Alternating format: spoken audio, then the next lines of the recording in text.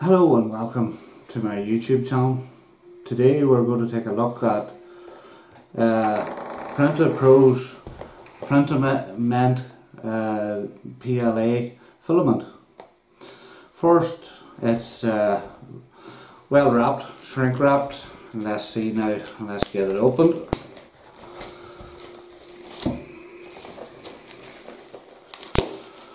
And uh, as you can see well designed box looks well.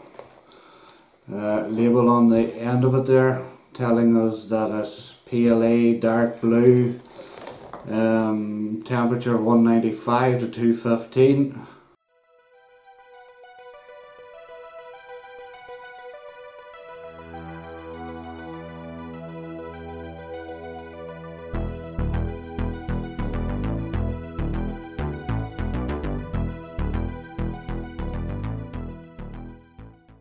What I'd like to point out about the box, they have a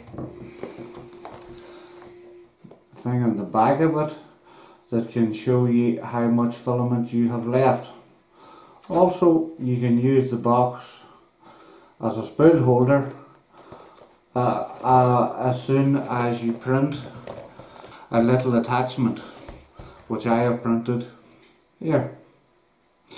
And all we do is Right, let's open the box. And take the filament out. We take the little uh, 3D printed file uh, attachment and insert it into the box. Uh, just like that. And now we can use box as uh, a spool holder. Now let's get the filament opened and take a look at it. It's uh, heat shrink sealed, vacuum sealed.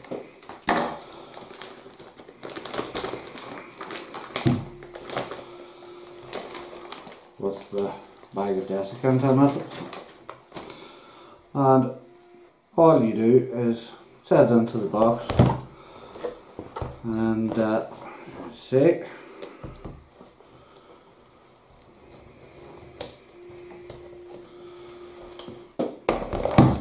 all you do is set it into the box. Run the filament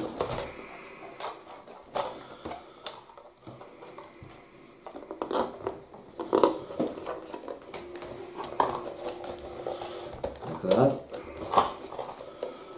through the hole, close your box hole.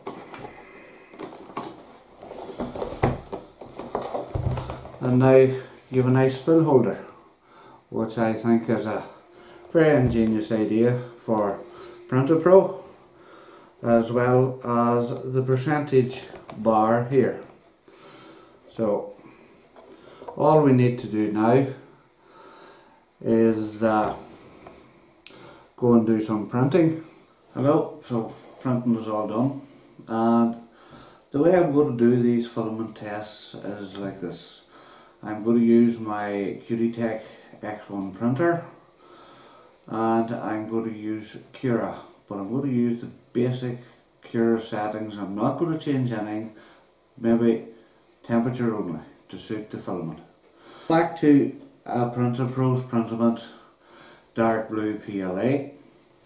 Print quality is extremely good. Uh, it seems to be a high quality filament.